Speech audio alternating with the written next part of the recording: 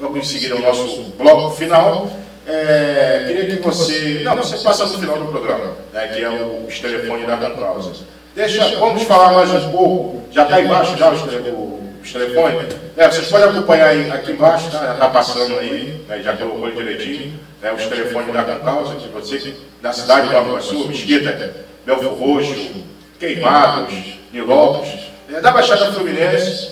É, a Concausa ela, ela atende também sem ser da Baixada, de outros locais também? Sim, mas a gente, quando tem uma demanda específica, a gente participou, por exemplo, da operação do desaparecido da região serrana. Uhum. Teve um caso de homofobia, de assassinato lá em Volta Redonda, que a gente foi acionado para acompanhar. É geralmente tipo, porque a gente não tem perna. Uhum. A questão, às vezes, é muita coisa, muito problema. É, é, a própria cidade do Rio de Janeiro, eles não têm condições de. de, de... Esse problema que houve em Belfort Roxo também, a causa também tá, ficou a par também.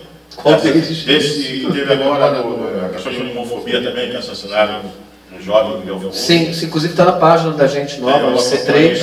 Né, é, no C3 a gente. Mas estou te falando, é, tem situações que a gente só, só é, se posiciona, não tem muito o que fazer. Uhum. Né? Tem, é, teve outros casos que a gente não pode relatar, que a gente conseguiu articular um pouco melhor é, a de homicídio da Baixada. Uhum. Tal. Esse caso, na verdade, nós não, não tivemos, além de nos posicionarmos sobre esse perfil de crime que continua acontecendo uhum. de lá, em larga escala na Baixada no Brasil afora.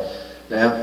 Mas te falando, o que falta a gente é perna. Se cada tem muita situação aí que a gente queria estar tá auxiliando, mas falta, assim como vocês, como todo mundo que trabalha de maneira é, independente, que trabalha é, com uma, uma função social, tem as suas dificuldades. Né? E dói, dói muito você às vezes ter uma situação que você sabe que poderia é, contribuir. resolver, às vezes é, não tem como. Exato, mas assim, graças a Deus hoje a gente tem uma, tem uma, uma rede de articulação bem legal.